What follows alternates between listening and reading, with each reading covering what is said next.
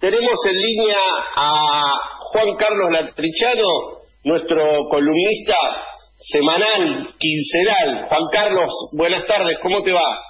¿Qué tal? ¿Cómo estás?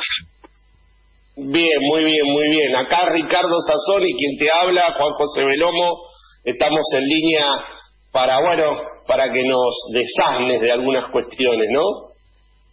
Bueno, doctor, la verdad que es importantísimo hoy tener contacto con usted, porque la situación económica viene preocupando mucho, especialmente a los sectores populares, a los sectores que están sin trabajo, que están viviendo, que vivían de changas cuando empezó la, la pandemia y que están viviendo una situación muy, muy, muy dura. Entonces, eh, esta preocupación que se suma a la altísima inflación que sufrieron los alimentos nos hacen tener este, mucha preocupación y, la consulta con usted eh, es esencial sobre esta cuestión.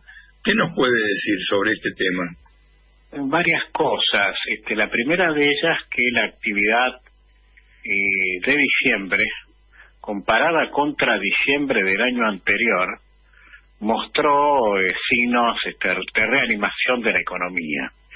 Es decir, concretamente hubo crecimiento eh, diciembre 2020 respecto a diciembre 2019, lo que permite apreciar que, bueno, iniciamos un sendero de reversión de la situación este, imperante en 2020, sobre todo mediados 2020, cuando la depresión era muy honda, ¿no?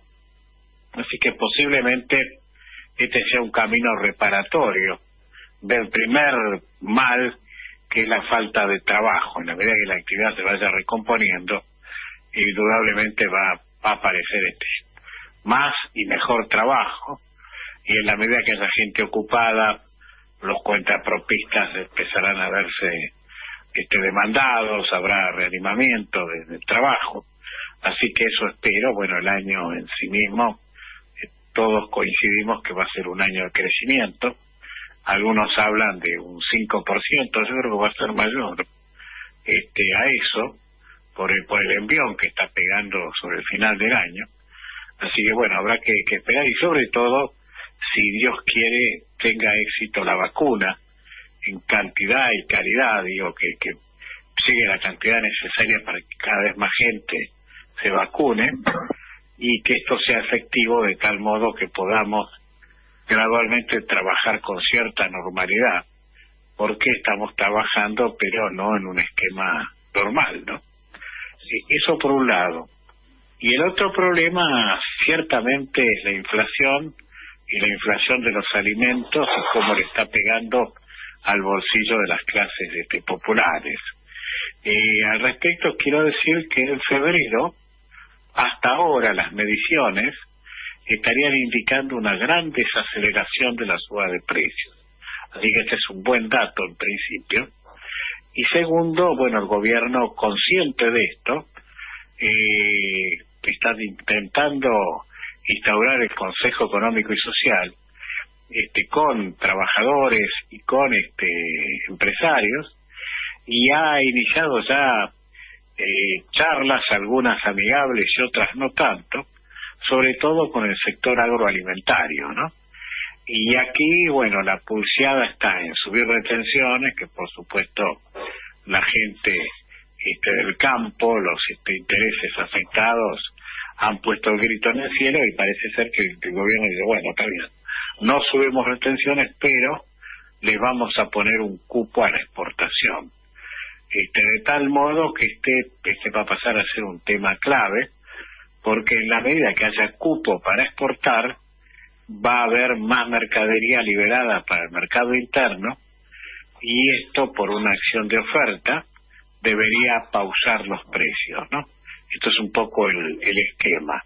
Y por otro lado, eh, y este, perdón, perdón, doctor, ¿el esquema de cupos estaría siendo aceptado por el sector eh, bueno, no, no con, no con alegría, ¿no? Pero bueno, e, este es un tema, y bueno, este es como cuando uno dice, este, trabajamos a tristeza, ¿no? Este que era una medida de, de fuerza por ahí que se hacía en algún momento, el trabajo algunas pero quiere decir que se estaría evitando un conflicto si hay un si hay un acuerdo o un principio de acuerdo en cuanto a me parece alentador no si si esto es así yo creo creo que hay que usar ese principio que enseñó Perón no a Dios rogando y con el mazo dando no este porque bueno justamente lo que yo quería decir que se aúna esto es este, la denuncia que hizo muy fuerte la semana pasada el señor este Alberto Samit, que es palabra autorizada para mí, pues es un empresario de vieja data en el negocio de la carne y que además conoce todo el tema del negocio agropecuario, por lo menos. Que, sabe seguro que sabe mucho. Sabe, sabe, sabe desde la práctica, ¿no? Esto como... Sabe, sabe de lo blanco y sabe de lo negro. Por eso, a veces el enfermero termina sabiendo más que el médico, ¿no? El médico opina la teoría y el enfermero sí que está lidiando con el enfermo, ¿no? Bueno, eh, y él este, ha, venido, ha sostenido que están pasando mucha cantidad de camiones que escapan del, del país con productos. Bueno, yo varias veces, ustedes han visto mis informes, este, tanto escritos como este, los que saco en videos, como los que informes que he hecho en distintos medios, he venido diciendo que, bueno, Paraguay sorpresivamente exporta más que lo que produce en soja. Este, bueno, sabemos de la triangulación de Vicentín, ¿no? Este, que bueno, después se, se, llamó a silencio todo, pero Vicentín triangulaba con Uruguay y Paraguay. Bueno, Samita ahora está hablando de negociaciones con non santas con Bolivia. Bueno, creo que este, hace Juan Carlos eh, las negociaciones serían con la carne no estarían haciendo el mismo la misma triangulación que hacen con los cereales con la carne eso no estoy tan seguro. Creo que la carne sale sale bien porque la carne en realidad escapa hacia China no directamente. Pero me parece que lo que está pasando pues los camiones por lo menos los que se ha detectado eh, porque digo, hasta ahora, este, a, la denuncia global le suceden algunas detecciones, que al decir de muchos son detecciones ínfimas en función de lo que pasa. Es decir, pasan 4.000 camiones y por ahí enganchan 15, ¿no? Claro. Este, pero, pero digamos, lo que se ha detectado tiene que ver con la soja o el trigo y el maíz, ¿no? Y lo que se sabe que Paraguay exporta más soja que lo que produce. Te pregunto, doctor, el volumen, el volumen de carne de estos precios, este, de estos, de estos cortes este, acordados, ¿es un volumen relevante para el consumo nacional o es algo que que no que no no mueve el amperímetro? ¿Cómo es eso? a, mí me parece que no es relevante pero de todos modos este intenta empezar a poner en blanco y negro un precio, que me parece que eso es importante. Eh, es una medida este, de un mazo de varias medidas. ¿eh? Por eso insisto, no, si uno la toma aislada y es inefectiva. Ahora, si uno mira que esto es una medida que está, en, que está enmarcada en varias más, entre ellas, insisto, poner un cupo este, hablar de una oferta en el mercado interno. Ah, otro tema este, muy fuerte, este, que los grandes medios creo que ni lo mencionan, y que es muy, muy, muy importante. Así que, este, si quieren, quieren poner un poquito el himno, después les digo. Porque este es muy importante. Diría a la audiencia que si, si están cocinando milanesas, paren, ¿eh? pues un temazo. La FIP acaba de sacar una disposición que para darles el reintegro de exportación a los exportadores no tienen que tener pendientes divisas de ingresar. Y otra cosa que se está haciendo que para mí es brutal y que, que digamos, tiro dos cosas, ¿por qué no se hizo antes? Pero bueno, no lloremos sobre la leche derramada, cuidemos la leche de acá para adelante se les está pidiendo, y acá creo que está jugando muy bien Marco del Pont, este, se les está pidiendo a todos los principales este, empresarios un plan este, de negocio y el plan impositivo. En otras palabras, ustedes supónganse tienen una empresa de fábrica de, no sé, de, de aceite, ¿eh? Bueno, se les pide, señores, en función de la estructura que tienen, etcétera, etcétera, cuánto piensan producir, de esa producción cuánto van a vender al exterior, cuánto en el mercado interno, cuánto van a pagar impuestos. Y es un modo de tener un esquema referencial después para decir, señor, usted tenía para producir un millón y parece ser que produjo cien mil. ¿Por qué? Claro, una medida muy inteligente. serían los Una medida muy, muy inteligente y que, y que está poniendo como locos a mis colegas los contadores. Sí, bueno, pobrecito, ¿no? pobrecito. Que Dios, yo no dejo de rezar por ellos, porque yo también soy contador. Así que los tengo en mis plegarias. Sinceramente los estudiaron, tengo en Estudiaron todos en la misma facultad el arte, los amigos, los amigos que enseñan a evadir. Dice, es el arte de malversar y que parezca moral, ¿no? Este, que parezca moral y que sea legal. Y que en realidad no, no atañe a la profesión, sino que es un sistema este, que propende a esto, lamentablemente. Es todo un sistema, porque todos hablan de corrupción y de los corruptos y, se están olvidando una parte, los corruptores.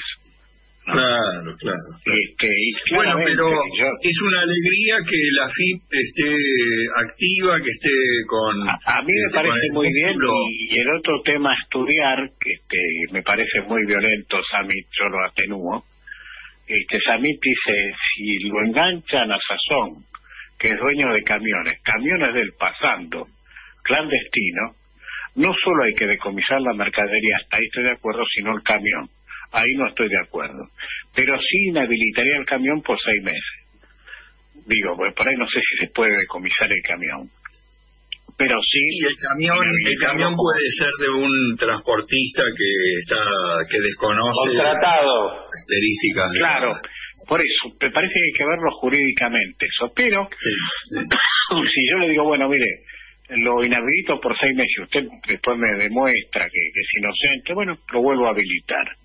Este, más que decomisar el camión. Pero digo, empezar a, a trabajar seriamente esta problemática. Sanciones duras. Y es cierto que también el transportista, si le decomisan el camión, se va a fijar muy bien qué es lo que le meten arriba del camión.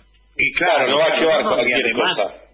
Y además, este, hacer una campaña cultural diciendo, señor transportista, primero usted va a tener una carta de porte indicando a dónde va la mercadería. Si la mercadería va al exterior, eh, esa mercadería tiene que pasar por la aduana argentina, tiene que tener tal documentación, etcétera, etcétera. Y entre la documentación que participe de una maniobra, si no. Exacto. Y puede ser partible de las mismas sanciones. Su actividad lo puede convertir en un partícipe necesario, ¿no? Así y yo creo que todo eso hay que hay que traducirlo. Por eso digo, no solo los contadores, y en realidad es un sistema donde claramente los argentinos, creo que cualquier argentino sabe que hay por lo menos un 30% de economía negra. Entonces, este, creo que está llegando la hora de volver a hacer campañas y bueno, exigir las facturas, este, exigir la procedencia del artículo de dónde viene, etcétera, etcétera. Y este, Juan Carlos, le hago una pregunta para, lo saco un poquito y, y le hago una pregunta sobre una inquietud que escuché en estos días. Las microdevaluaciones que hace este, el Banco Central, creo que es que hace las devaluaciones, Sí, sí, sí, en el dólar oficial. Las microdevaluaciones que viene haciendo el Banco Central, eh, ¿pueden estar contribuyendo a un proceso inflacionario y a la pérdida del poder adquisitivo? Eh, claramente sí, pero esto está apuntado a que, digamos, se vaya actualizando al mismo tiempo el tipo de cambio este, con el ritmo de precios. Lo que hay que hacer es acotar esa inflación desde su naturaleza, acordar con los productores y sobre todo, digo, si hay fugas hacia afuera de mercadería que no solo no ingresan los dólares, sino que además este, se escapa la mercadería, entonces evidentemente esto conspira en la oferta de dólares o de mercadería. Entonces esto es lo que hay que trabajar para este, evitar este lo que Perón decía la manguera que pierde, ¿no? Que el agua llegue a donde tiene que llegar, al jardín. Y este y claramente me parece que esto es lo que hay que hacer. Luego, esta pequeña devaluación va sirviendo para este, exportar. Ahora bien, si estamos haciendo la devaluación y solo sirve para inflacionar, y los que les vendría bien a exportar resulta que escapan, bueno, eh, es una medida que sirve para una cosa, pero pero lamentablemente no para lo, lo central. Y Juan Carlos, le hago una consultita. Eh, ¿Hay alguna posibilidad de que se largue un nuevo IFE? Yo creo que no. Yo creo que no, porque estamos muy duros con el Fondo Monetario Internacional. Por eso insisto, lo que hay que hacer para mí es tratar de evitar las filtraciones, porque la filtración es este dinero que nos falta. Fíjense, estamos hablando de las vacunas. ¿Con qué moneda compramos la vacuna? ¿Con pesos o con dólares? Con dólares. la compraron con dólares. Y si la mercadería que se tiene que traducir en dólares se escapa, esos dólares no están. Entonces, claramente, y si tenemos las vacunas en abundancia, ¿para qué haría falta un IFE si estaría la gente más o menos curada en poco tiempo, supuestamente, y se podía recomponer el aparato de trabajo? Me agarro de su referencia al Fondo Monetario Internacional para preguntarle su opinión sobre eh, un eventual acuerdo con el Fondo Monetario Internacional. Ayer yo escuchaba al ex ministro y ex vicepresidente Amado Boudou diciendo que eh, desde su punto de vista no era una prioridad llegar a un acuerdo con el Fondo Monetario Internacional porque eso nos iba a traer eh, más problemas que soluciones. ¿Cuál es su opinión respecto a esta cuestión? Porque al gobierno lo veo como muy orientado a buscar y a llegar a un acuerdo. Yo creo que es bueno llegar a un acuerdo, porque el fondo eh, en sí mismo no es tanto, sino que él marca la cancha. Este, y los demás organismos multilaterales lo miran al fondo, y los distintos acreedores potenciales miran al fondo. Entonces, a mí me parece que si, el acuerdo no es lesivo a los intereses del país, hay que este, sustanciarlo. A mí me parece que esto hay que hacerlo, está bien orientado el ministro Guzmán en ese aspecto. Este, la idea es llegar a un acuerdo en el que la Argentina pueda empezar a pagar recién en 2025. Para ser claro, en el mandato del presidente Alberto Fernández no hay desembolsos. Ahora, el no acordar ya significa que en este mes tenemos que pagar 400 millones. En la medida que no hay acuerdo hay que pagar. Porque si uno no paga, queda en default. Y al quedar en default es un hecho gravísimo ante el Fondo Monetario. Y esto me parece... Juan Carlos, pregunta importante. ¿Llegar a un acuerdo no implicaría tener que eh, asumir algunas restricciones del fondo? Por ejemplo, usted recién dijo bien clarito, eh, no, IFE lo veo difícil porque estamos en un muy buen, estamos bien orientados con el fondo. Eh, no se produce acá la dicotomía mercado interno eh, versus acuerdo con el Fondo Monetario. No, no, pero, pero digamos, me parece que es un disparador hacia poner las cosas en hora. Digo, una sería el parche IFE y seguir como vinimos el año pasado. Otra es bueno, señores, no hay IFE porque estoy acordando con el fondo. Entonces tengo que agarrar un palo y pegarle un palazo al que vale. Porque ese dinero lo tengo que traer, tengo que conseguir los dólares y a partir de ahí moverme a partir de eso. Con los dólares el, problema, el problema es que tenemos 10 millones de personas o 11 millones de personas que estaban cobrando el IFE y que, evidentemente si se anotaron para ese plan es porque lo estaban necesitando y que no creo que la situación se haya recompuesto de forma tal de que hoy no lo necesite. No, no, no dije eso, pero digo, sí es imperioso, primero, recuperar la caja. ¿Qué estoy diciendo al recuperar la caja? Que no se escapen dólares, que los dólares este, caigan en el tonel donde tienen que entrar. Ah, eso está entendido, esa, parte la entendimos, pero yo digo, ¿qué hacemos con la gente que no morfa? Este, Juan Carlos, yo sé que a usted le preocupa tanto como a mí. No, por supuesto. Ahí, bueno, quizá habrá que ver este todo el tema de tarjetas alimentarias, habrá que ver lo que dice Samit de este para esa gente hacer un plan acordado de carne más barata, este, por ejemplo, un tema le tiro, eh, muy simple, la tarifa. Todos sabemos que las tarifas en algún momento va a haber que ajustarlas. Me pregunto, ¿el ajuste tiene que ser igual de intenso para los sectores pudientes que para los sectores no pudientes? Claramente la respuesta es no. Tiene que ser asimétrico el ajuste. No, y ya lo anunció el ministro el otro día en una nota periodística, ya, ya dio una, este, bueno, por eso, pero si yo ahí aplico, ahí aplico un ajuste, eso me va a permitir por ahí subsidiar con una tarjeta alimentaria, ¿no? Bien, a, Este, a las personas. Entonces, esto me parece lo que hay que ir haciendo, pero lo que digo es, si tengo la restricción de no IFE, la imaginación y la acción tienen que jugar con mucha más inmediatez y no posponer. Pues si tengo el IFE, digo, lamentablemente me adormezco y sigo en ese baile. Y mientras tanto, sigo bailando en el Titanic, ¿no? Entonces lo que yo digo es, este, claro, digo, paremos el baile del Titanic, resolvamos el tema. Y resolver el tema es cortar la hemorragia de divisas. Si corto eso, si la plata que tiene que entrar ingresa, puedo hablar de una tarjeta alimentaria, puedo hablar de otra cosa. ¿Está bien?